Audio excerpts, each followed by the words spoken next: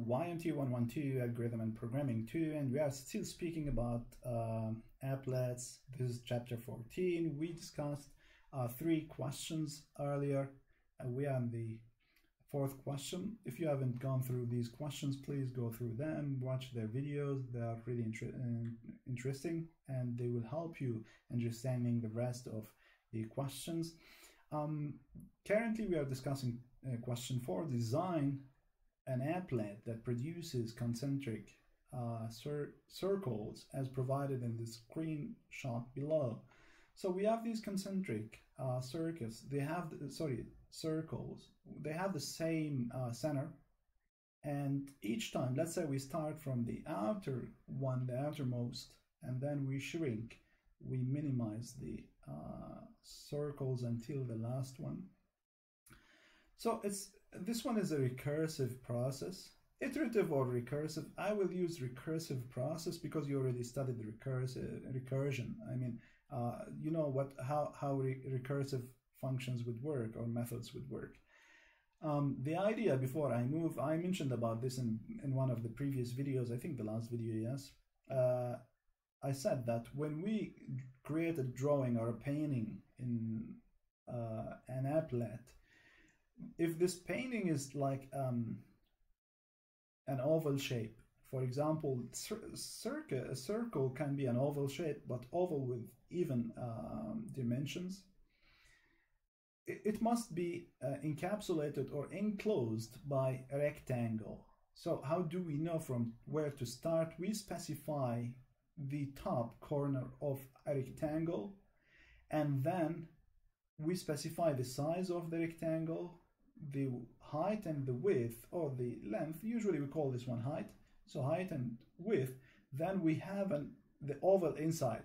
It will be provided based on the content that we have the the uh, the, the uh, box that we have. So we are not drawing actually an oval. We could do that but now we are drawing a circle and these circles actually have even shape. And then in that case uh, the idea of having a rectangle is not exactly applicable. What we have is a square, and this is an exception because of the circle.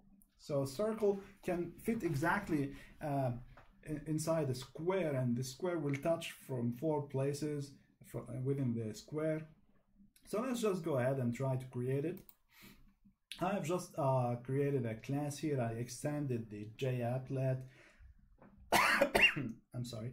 So I extended the JApplet and now what I'm going to do is um, I will just set up a few things. The first thing, I'll ignore setting up the background and we will see how things will go. Just ignore it, what we did earlier, like the content pane and then um, set the background color.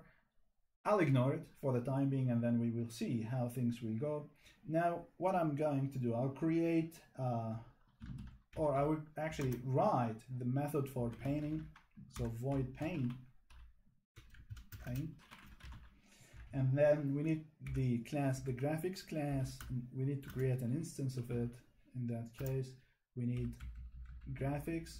And of course, I have to um, import its uh, definition. So it's available in AWT.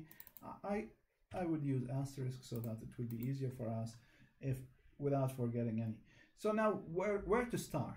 Now I'll assume that, I'll explain.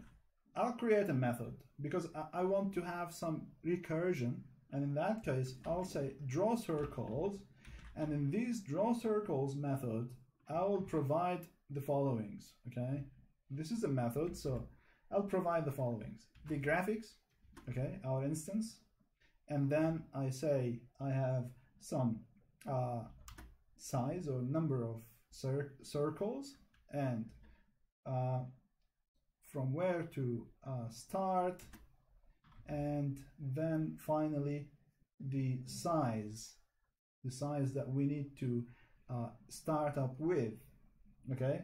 So this is the exact idea. We need these for dimensions and I'll, I will show you in, in a few seconds. Now let's just get out of this paint I'll create this um, draw circle, circles and it's private. Why private? I, I, don't need any access from the outside world to this um, method. So I keep my code here a bit more secure as there is no need for any other method in the time being to access to it. So we have these uh, parameters here, graphics first, it's a graphics, so it's type of graphics, we can use the same name. Uh, I need to, I don't want to make this typo, graphics, okay? And then the second one is, we said um, what we are looking for is uh, the size, and then uh, number of, not size, the number of circles that we are supposed to draw, then from where to start. So we need to get the, the reference I said earlier. Let's say you want to start from uh, this outer circle, specify the, uh, specify the corner, the corner of where you're supposed to provide uh, your rectangle, or in this case, the square. Actually, rectangle, rectangle by default, but when the height and the width are equal, then it's a square. So we say this is the corner, then it will just expand based on its own dimensions, okay? So this is the top XY.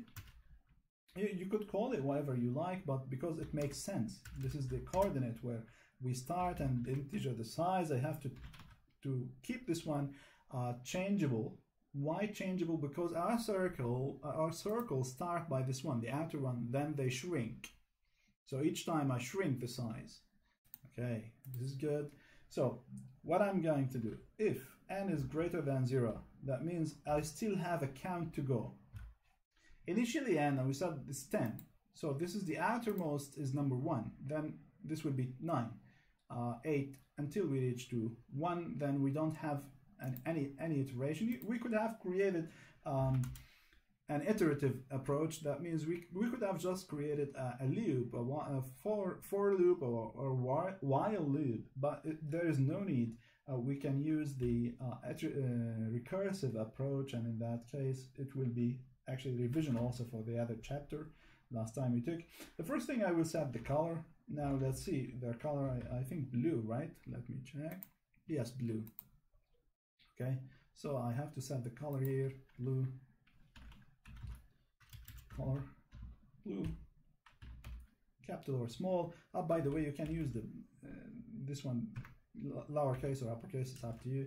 Now next to that we need to draw. What to draw? So draw oval. We don't exactly have draw circle. We draw an oval but this oval uh, we need to specify the dimensions where it is actually enclosed. As I said it's inside the box.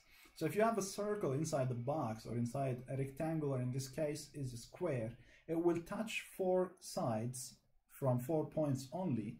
And like, because it's symmetric in this case, it's not like other ovals. So we specify these uh, coordinates, top xy, where we start, and also here top xy. okay this is for initialization because it will be changed and then we start by the size okay so after that what we need to do is also we start by the size here. So we start by xy the beginning let's say 5 here and 300 then we we will change those.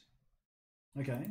So 5 5 300 300 then we will override this process. How we call the method again, draw circles, and then we provide new arguments. Now look, uh, the first one is already uh, drawn using whatever passed from here. We passed 10, 5, uh, 5, 300. So next to that, what will happen? We will be having a new style. Okay, so we will have a new style in that case.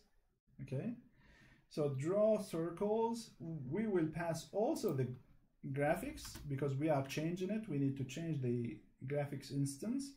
I will increment, decrement the number of uh, circles. Initially it's 10, now I'll make it 9. And next time it will be 8, next time. So it's incremental, dec uh, decremental. And then I'll pass top x, y. Keep it the way it is, but add to it 15 I'm changing the dimensions and moving. So as you are shrinking by the size of the circle, you need to move the dimensions, okay?